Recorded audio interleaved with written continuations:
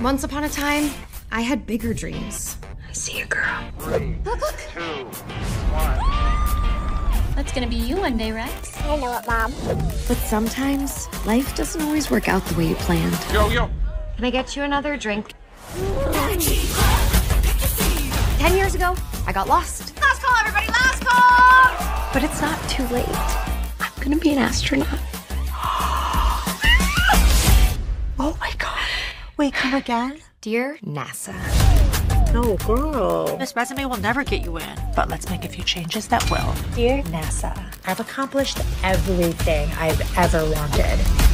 Dr. Tiffany Simpson, you have been selected for astronaut training. I'm gonna be an astronaut! Johnson Space Center. I'm actually here. Dr. Stacy Kellogg, MD, PhD. Mancini, Captain, Jack. Violet Marie Veslovsky. We have a special name for astronaut candidates ASCANs.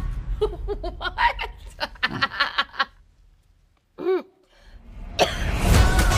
Over the next nine weeks, you will be trained and tested. Most of you will not pass. Mama, is that an astronaut? Not with my tax dollars, she's not. Are we sure Dr. Simpson belongs here?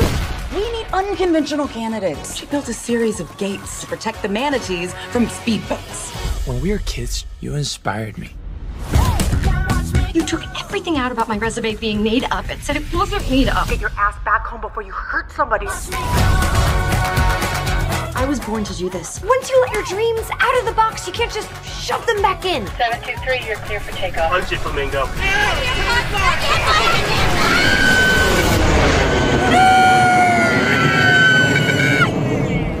Is this thing hard to land or